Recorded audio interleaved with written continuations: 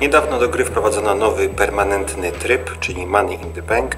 Permanentny dlatego, że on będzie na stałe, natomiast nagrody, które mm, będzie można zdobyć zmieniają się co 40 dni, czyli ma się 40 dni na zdobycie danej nagrody, ale nic się nie martwcie, jeżeli e, nie wyrobicie się w tych 40 dniach, to Wasze punkty, tutaj są kontrakt, nazywane kontraktami, nie przepadają, tylko przechodzą na kolejny okres i będziecie mogli sobie kupić e, nagrody później, będą już inne po tych 40 dniach, bo co 40 dni będą nowych, będzie nowy zestaw nagród. Żeby grać potrzebujecie przód skompletować deck. Deck składa się z 15 e, zawodników, bez żadnej divy i dwie karty supportu.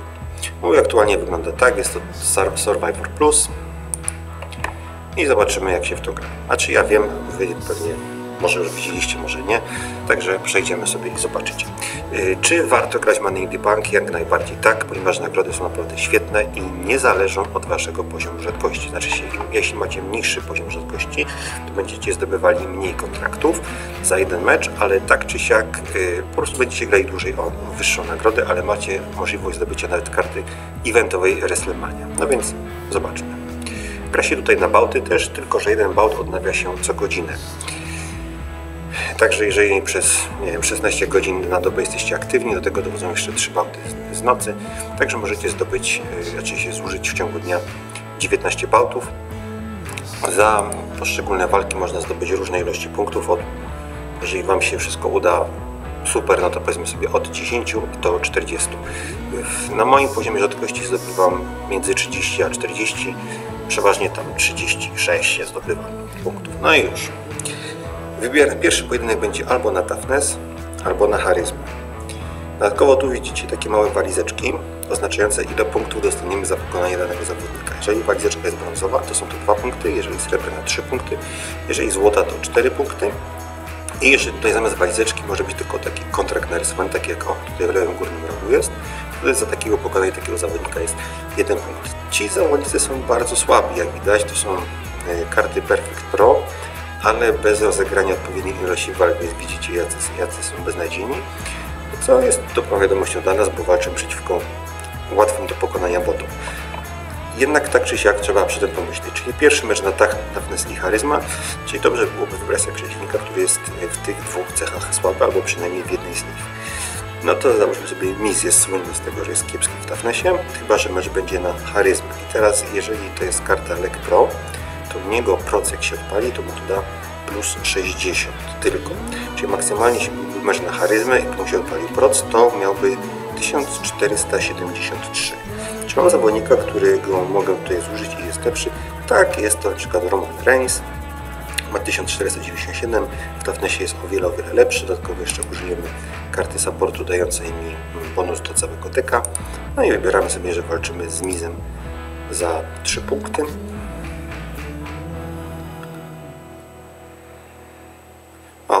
Się proc, także zobaczycie finisher. Nie będę go przeklikiwał. Przeklikam tylko wyjście. No i walczą.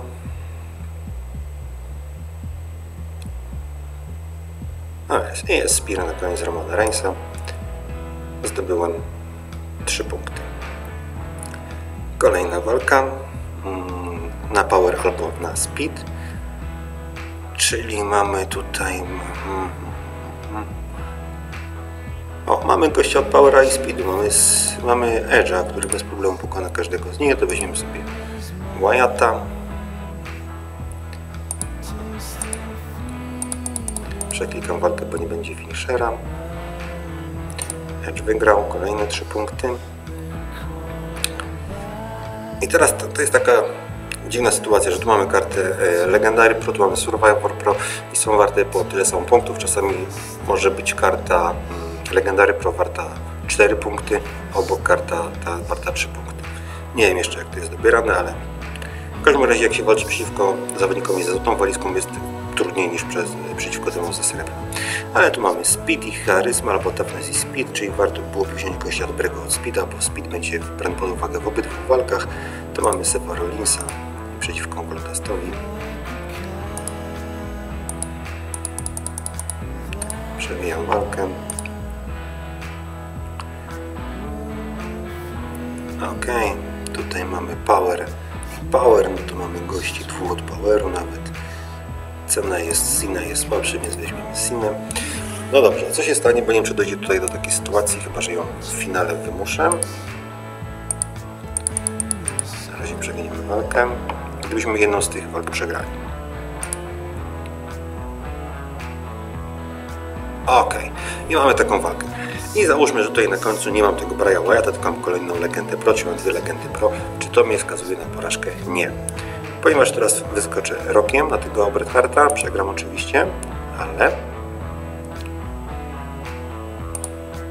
O, odpalił mu się Sharpshooter, zobaczycie, że to finisher Bret Hitman Harta. Jak mi robi Sharpshootera.